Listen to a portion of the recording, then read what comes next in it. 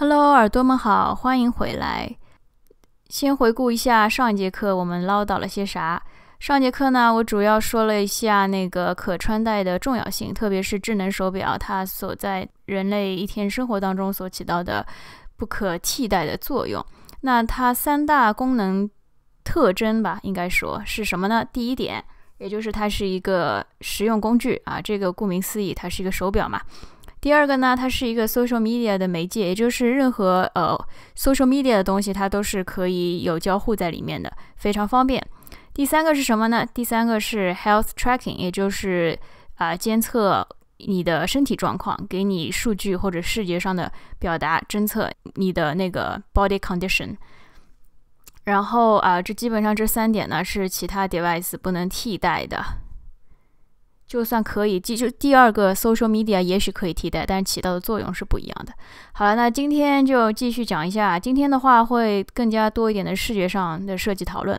因为毕竟是 UI 的课嘛，那我在这边截屏了 Apple Watch 和 Moto 三六零，也就是那天上次提到的啊苹果系统和 Android 系统。然后啊，在开始讲之前呢，我就跟大家提一下，就是当设计师在工作的时候啊，啊，因为这两个系统，一个是 iOS，一个是 Android。安卓，也就是他们两个语言是不同的吧？那语言不同的情况下，它能够展现出的功能性也是不同的。作为设计师，当然，呃，有创造性是好事。但是，当你去写 iOS 设计的时候呢，你创造的东西不能实现，那不就是白做了嘛？所以，跟 engineer 工程师们和码农们沟通是设计师非常非常重要的一点。你得知道什么样的功能是可实现的。啊，这一点我就举个例子好了，因为在 iOS 里面会有很多 blur background，也就是。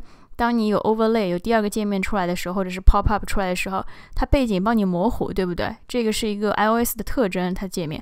可是 Android 是做不到的，Android 是没办法用代码写那个特效的。我们曾经尝试着让工程师们写，他们的确是花了九牛二虎之力写出来了。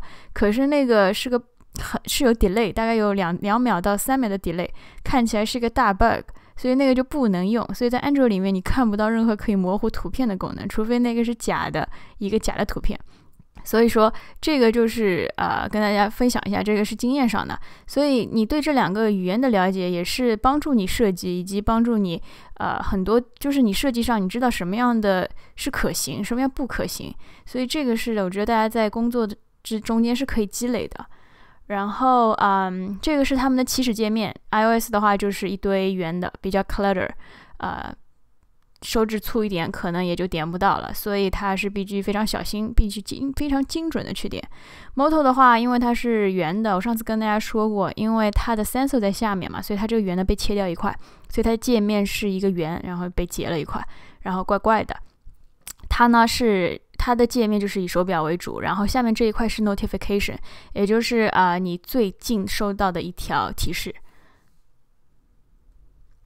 然后这个是他们的 app 启用，那苹果还是一样，它的主界面 home 界面就是一个 app。然后当这里提一点啊，苹果手表的话，它这边有个 knob，就是有个按钮，它起到的作用就是 home 键，所以你随时可以退到最初原始状态，这个是非常好的。然后 Moto 没有嘛，所以它这边的 app 是一个 list。然后这个 list 就是这样滚 scroll，它的 gesture 叫 scroll。那这里我就给大家提一个问题，因为嗯，作为设计师，你觉得这样一个 gesture，这样一个手势，这样一个姿势，跟这个设计有什么问题？然后我觉得，如果你是呃平面设计师的话，应该马上就能看出来问题在哪里。那其他人的话，我觉得给大家考虑一下，我在啊这节课结束的时候，给大家揭晓这个问题出在哪里。大家先放在心上，因为之后还是会看到有这样的 pattern 出现。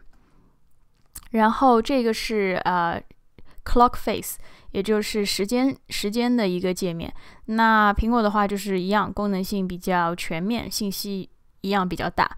然后 Moto 的话呢，它是呃，也是刚刚一样，它有个 notification 在这里，可是苹果没有。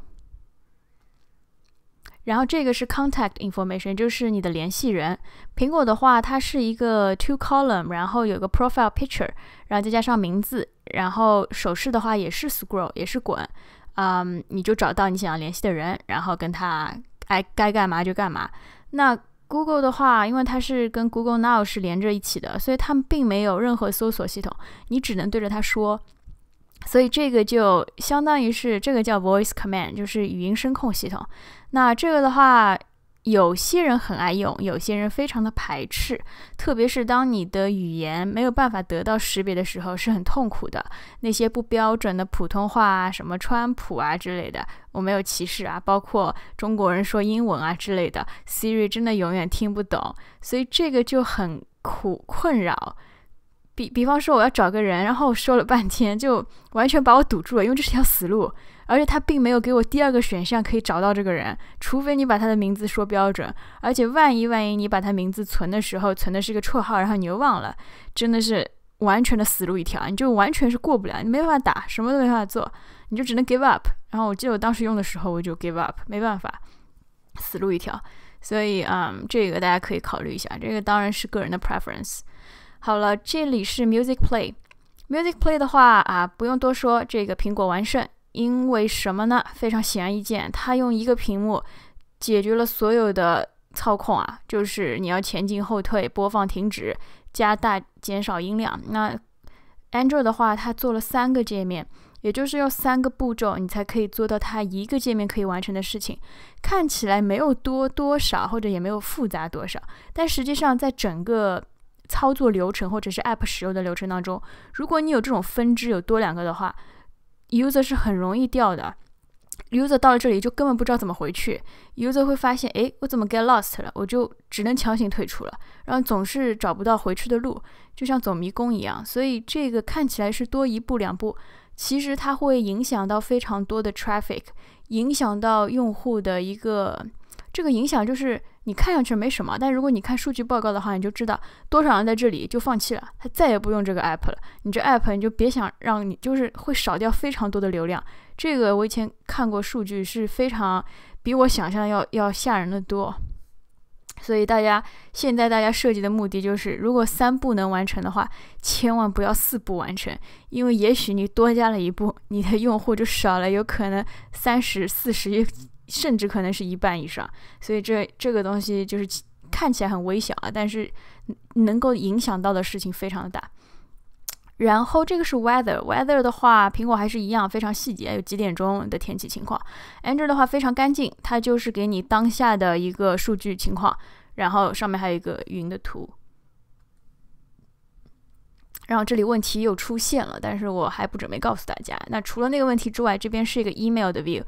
同样的，苹果它就是以 content 取胜啊，它就是非常详细，什么都有，包括有附件，还有收藏这样一个基本上的功能都有。然后，嗯，Gmail 的话，它没有办法看历史，它只能看现在的一个 message。然后你要看其他前面或者后面那个 thread 的话，你得点一下 more，然后再去另外一个界面去看。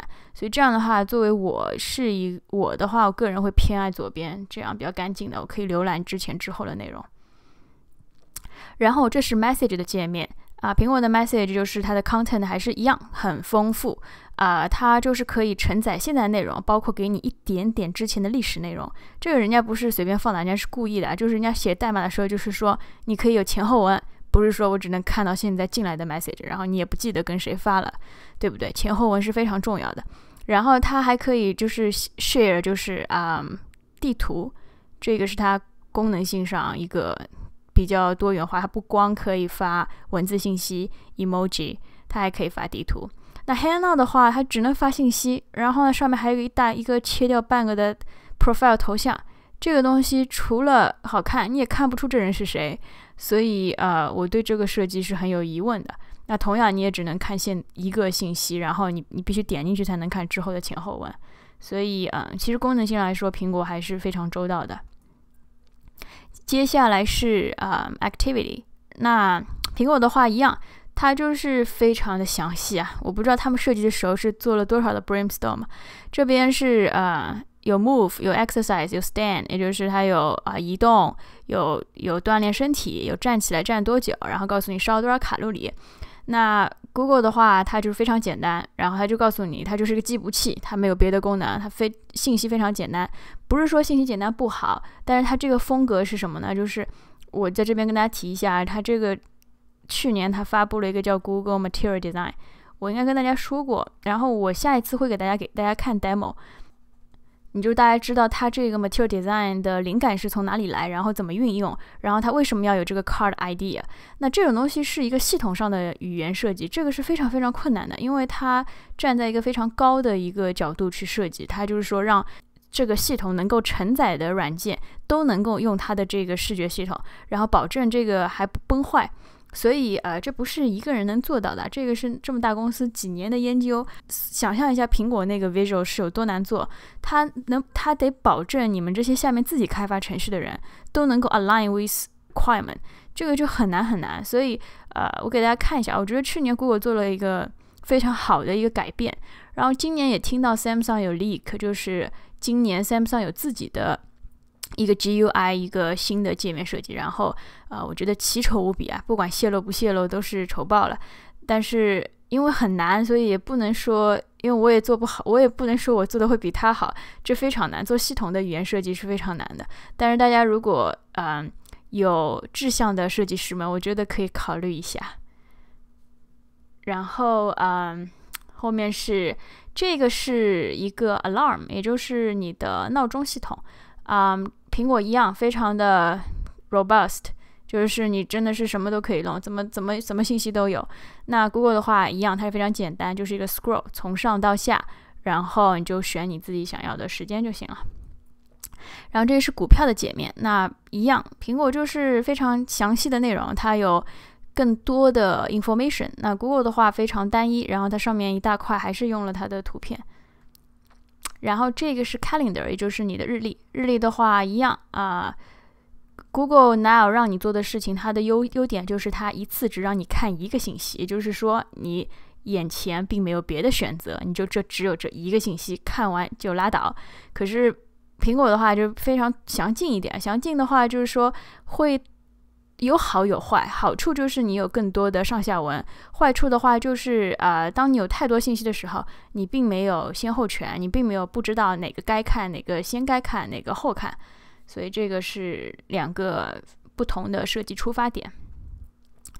然后这边是地图，那苹果的话就是一个。真实地图的一个浏浏就是浏览界面，然后 Google 用的呢不是地图，虽然 Google 地图用的非常好，但由我想由于它是圆的界面，所以它应该很难去做这样一个东西啊。我不知道他们出于什么考虑，他们所采取的就是解决方案是全部都是用文字来表达，就是告诉你一个走向，你到哪里左转，到哪里右转这样子，然后是没有地图地图的一个缩览图的。然后最后一个呢是啊，camera。我还特地做了一下调查，就是苹果的那个是没有 camera，这些智能手机手表都是没有 camera 的。但它是一个什么作用呢？它是一个 controller，也就是说，呃，我用手表可以控制手机上拍摄。听起来傻，其实一点也不傻，因为现在就有一个非常当红的软件，呃，在这边就是有有一个 startup 在做吧。然后它那个软件什么意思呢？就是说。两个人用手机拍照，然后我可以看到你拍我的一个预览，那我就知道你拍的好不好。有一点像自拍神器，但是意意思是一样的，但是呃，就是你使用的一个设计的不一样嘛，因为你是两个 device 来做。那其实你手表和手机相当于也是其中拿手表去取代那个手机做一个 initiate，就是当一个操控了嘛。那这两个区别就是苹果它有预览，虽然这么小，我也不知道你能看到啥。还能定时，那 Google 的话就是没有预览，你就直接是 Control，所以基本上给大家过了一遍，就是它基本功能的一些界面。然后我觉得设计师的话就是一样，就是当你知道这些 native 的 language 之后呢，呃，你就根据它的一个构架，然后在这上面进行你的创意和设计。然后最后我还是回到刚刚跟大家提到，就是为什么 Moto 有一个问题。嗯，回到这边邮件这一页吧。就说，嗯，大家看到啊，就是这个，不管它是什么手机，它的设计内容，它的浏览方式都是个 list view。什么叫 list view？也就是一个列表嘛，对不对？那作为排版设计的最基本基本的理论是什么？就是左对齐。大家可以看到，叫 flush left。你不，你的键手表如果是个圆的话，你觉得如果有设计师给你这样子做设计的话？啊，这个是很可怕的，因为这这个是叫这个叫 Word 或者是 Windows Office 软件，应该说才。会这样做，没有设计师会这样设计的。从理论上来说，这个是错的。虽然设计设设计没有理论啊，你可以说我打破理论，但是在我看来，你得先了解基础才能打破这样的设计。你如果没有个很好的理由的话，是非常丑陋的。所以啊，大家可以看到这边所有的 list view 它都是 flush left，它都是左对齐。那左对齐个什么问题呢？就是当你全部对齐之后，你会发现你所有的信息都是这样对齐的。那你旁边两块白的干什么呢？你的 real estate 是浪费掉的，而且是一定会被浪费掉。所以这个就是 Moto 致命的一个问题，因为它除了手表那个界面是用圆的是可以的，其他所有的。程序界面全部都是 list view，然后它只是为了那个手表界面牺牲掉了，你知道这个整个外形的设计嘛？所以它里面所有的程序应用，它旁边两块都一定是白的，而且内容一多奇丑无比。而且它有一个非常尴尬的问题，就是上面它有时候会有个 image，然后还切掉一点，然后你也看不出是个鬼，这是没有功能性的东西，然后就有个 question mark。所以，嗯。这个是我的观点啊，但是华为也还是在做圆的手表。我觉得就看，可能他们觉得手表还是应该回归原原始，然后还是要圆的，要 perfect。但是如果你里面的程序，做一个智能手表来说，你的程序全部都是 list view 的话，做圆的手表是毫无意义的。所以啊，这个就是我觉得设计师应该起码都应该考虑到的问题。所以好了，那今天的课就先到这里了。然后我下一堂课给大家看 Google Material 的 demo，就这样啦，耳朵们，拜拜。